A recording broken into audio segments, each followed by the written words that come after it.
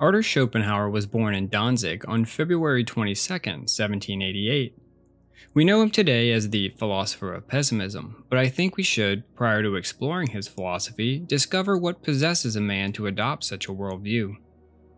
It began late in the 18th century, after the Napoleonic and the counter Napoleonic campaigns had left scars of ravage on the face of the European continent, and moreover, in the minds of the European people.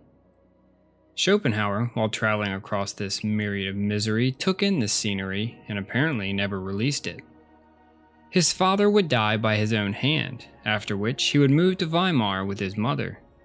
This move put the nail in his pessimistic coffin as he would develop a rather unhealthy relationship with her, ultimately culminating in an incident wherein she pushed our philosopher down the stairs. Is it at all a surprise that he developed such a melancholic philosophy? After all, a man who has not known a mother's love, and moreover has known her hatred, is certainly doomed to pessimism. Early on in his philosophic career, Schopenhauer would compose his famous color theory and to work on the idea of sufficient reason. But the work which would lift him to the forefront of the early 19th century is The World as Will and Idea, published in 1819. In this work, Schopenhauer was so sure that he had solved the cardinal problems of philosophy that he considered having his signet ring engraved with a sphinx throwing herself down the abyss, as she had promised to do upon having her riddles answered. Let us press on then and see for ourselves the masterpiece which Schopenhauer himself would label clearly intelligible, vigorous, and not without beauty. Since I will be attempting to summarize this work, I will stitch it together point by point in order to make it clear and comprehensible. He would begin by accepting the Kantian position that the world in which we live and of which we perceive is known to us only through our sensations and ideas. On the other hand, he would reject and refute the materialism propounded so forcefully by Hobbes and Hume. We can never arrive at the real nature of things from without. However much we may investigate, we can never reach anything but images and names. To have any chance at uncovering the ultimate nature of things without, we must begin within. So let us look to the mind, to the will.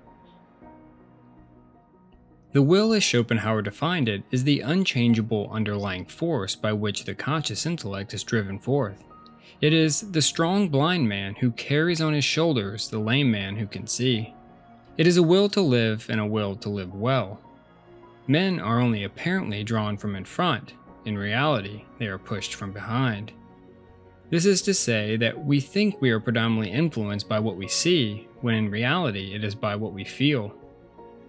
The will is to our consciousness what the keystone is to a great arch. It holds together all its ideas and thoughts, accompanying them like a continuous harmony.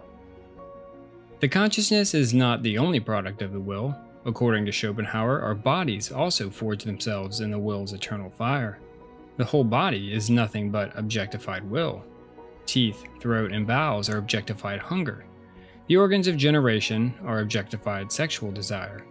Unlike the intellect, the will does not fatigue. It works continuously, even in sleep, which Schopenhauer believed to be the original state of all life forms. If we begin at the bottom with protozoa and work our way up the Jacob's ladder of consciousness to man, we see the unconsciousness of plants, from which it started, still remains the foundation and may be traced in the necessity for sleep. Sleep is a morsel of death, borrowed to keep up and renew that part of life which has been exhausted by the day. The will precedes even the intellect. We see this in the instinct of animals. An example given by Schopenhauer is when orangutans warm themselves by a fire which they find. They do not feed or stoke the fire because this is not the result of intellect, but of will. This will to live conquers even death. How, might you ask? Well, by the supercilious task of reproduction. He believes this to be every organism's ultimate goal, the denouement of our entire existence. It is the cause of war and the end of peace, the basis of what is serious and the aim of the jest, the inexhaustible source of wit, the key of all illusions, and the meaning of all mysterious hints. The seeking of a mate is also largely out of the individual's control, we seek that which neutralizes our own defects, and vice versa. Love is but an illusion cast on us by the species for the attainment of its end. The sexual impulse is to be regarded as the inner life of the tree upon which the life of the individual grows, like a leaf that is nourished by the tree and assists in nourishing the tree. This is why that impulse is so strong and springs forth from the depths of our nature. The individual dies out, but the species lives on, and with it comes the insatiable will. We prefer to believe that we are the culmination of events, that all time has occurred for the sake of our own existence. But to our dismay, we would be wrong in this assumption, for it is only the self-same unchangeable being that is before us, which today pursues the same ends as it did yesterday and ever will. Our will is only free as far as there is no other will to compare it to. Our actions, our decisions, our desires, are subject to necessity. So, in short, we must play the part which we have undertaken to the very end. Now we come to the topics which would bestow upon our philosopher that well deserved title, the philosopher of pessimism.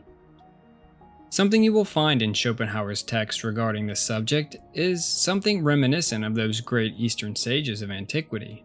You see, like those profound Eastern minds, he thought suffering finds its roots in desire, and since desire is rooted in the eternal will, human suffering must also remain eternal. Unlike the East, Schopenhauer held the belief that the number of desires fulfilled or the number of desires extinguished is of no consequence, since if a great and pressing care is lifted from our breast, another immediately replaces it the whole material of which was already there before, but could not come into consciousness as care because there was no capacity left for it. But now that there is room for this, it comes forward and occupies the throne. Let us indulge our optimistic friends and concede to the claim that the elimination of desire, and therefore strife, was for a moment possible. In this case, Schopenhauer bitterly informs us boredom would become as intolerable as suffering, and therefore must be quelled by strife. He also informs us that if we should bring clearly to a man's sight the terrible sufferings and miseries to which his life is constantly exposed, he would be seized with horror. And if we were to conduct the confirmed optimist through the hospitals, infirmaries, and surgical operating rooms, through the prisons, torture chambers, and slave kennels, over battlefields and places of execution, where it hides itself from the glance of cold curiosity, and finally, allow him to look into the starving dungeons of Ugolino, he too would understand at last the nature of this best of all possible worlds. So, how then would Schopenhauer have us obtain happiness? Is such a thing even possible in this worst of all possible worlds? It is, through the acquirement of wisdom and culture to the end of subordinating the will. The only way we as individuals can go about this subordination of the will is through the pursuit of knowledge. The more knowledge we obtain, the better we can examine ourselves, and the better we can examine ourselves, the better we can understand the passions that would eventually lead us down the path of suffering if gone unchecked. We should also adopt a determinist philosophy which will allow us to see the necessity of all things. We need not go about this task alone, though. The great minds of the past will be there, ready and willing to lend us a hand, for it is only for such loving minds that these great ones have lived. Once we reach this will-less state, or nirvana if you will, we should find at once that our suffering has been considerably diminished. Is this the end of it then? No. Schopenhauer informs us, once again, that the life of the individual is but only borrowed from the species. The will lives on, but can't the species acquire that which the individual has? I'm afraid not. For the species, the only option, Schopenhauer thought, is to end its perpetuation. But one obstacle yet stands in the way of this great mass extinction of the human race, this being that tenacious will to reproduce. If he had it his way, Schopenhauer would have us place the blame for this on women, and bitterly advises the men of this world to avoid them, whatever the cost. He makes his contempt for them no secret to his readers, what hatred of women one mishap had generated in this unfortunate soul. There can be no doubt that his philosophy, like any other, has its complications. But can we not say that it also has its profundities? He taught us that mere intellectual thinking was not enough, that action must follow thought if we are to make changes in our lives and in the species as a whole.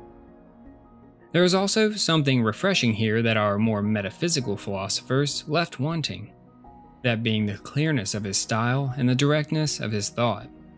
Yes, we owe it to Schopenhauer that he revealed our secret hearts to us, showed us that our desires are the axioms of our philosophies, and cleared the way to an understanding of thought as no mere abstract calculation of impersonal events, but as a flexible instrument of action and desire. If you enjoyed this video or found it helpful, consider subscribing to the channel. And as always, thank you for talking philosophy with me. Until next time.